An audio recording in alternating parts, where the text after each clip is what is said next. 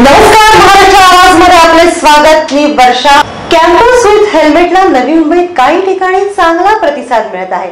मात्र पनवेल महापालिकेत या योजनेची अंमलबजावणी होताना दिसत नाही. कॅम्पस विथ हेल्मेटला काही ठिकाणी नवी मुंबईत चांगला प्रतिसाद मिळत आहे.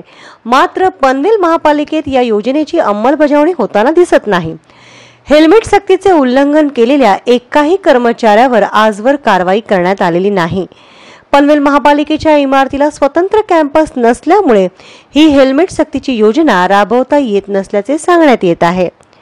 दुचाकी स्वाराला हेल्मेट वापरण्याची सवय लावण्यासाठी नवी मुंबईचे पोलीस आयुक्तालयाकडून मोठ्या प्रमाणात प्रयत्न करण्यात येत आहेत. दुचाकी चालवताना हेल्मेट वापरण्याचे प्रमाण वाढवण्यासाठी कॅम्पस विथ हेल्मेट असा उपक्रम सुरू केला.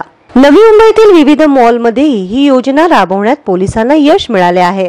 पनवेल महापालिकेतील कर्मचाऱ्यांसाठी देखील ही योजना राबवून हेल्मेट सक्ती करण्यात आली. पनवेल महापालिकेचे मुख्यालय उपायुक्त यांनी या माहितीचे परिपत्रक एकोणतीस मार्च रोजी प्रसिद्ध करून ही योजना राबवण्यात येत असल्याचे जाहीर केले. हेल्मेट घालून आल्याची माहिती मुख्य प्रवेशद्वारावरील सुरक्षा रक्षकांना देऊनच प्रवेश करायचा असे या पत्रकात नमूद केले होते. चार एप्रिलपासून हे आदेश अंमलात आणल्याचे सांगण्यात आले.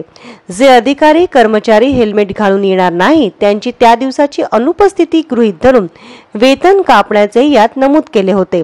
मात्र पनवेल महापालिकेच्या आवारात ही हेल्मेट सक्ती केल्यापासून आजवर एकही कर्मचाऱ्यावर कारवाई करण्यात आली नाही. कॅम्पस विथ हेल्मेट ही योजना पनवेल महापालिकेच्या परिपत्रकापुरती मर्यादित राहिल्याचे महिनाभरानंतर निदर्शनास आले.